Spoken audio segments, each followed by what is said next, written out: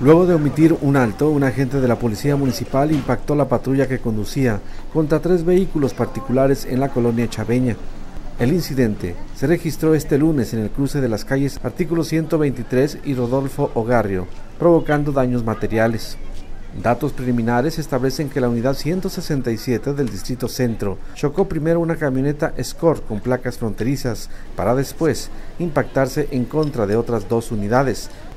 Diario TV en la información.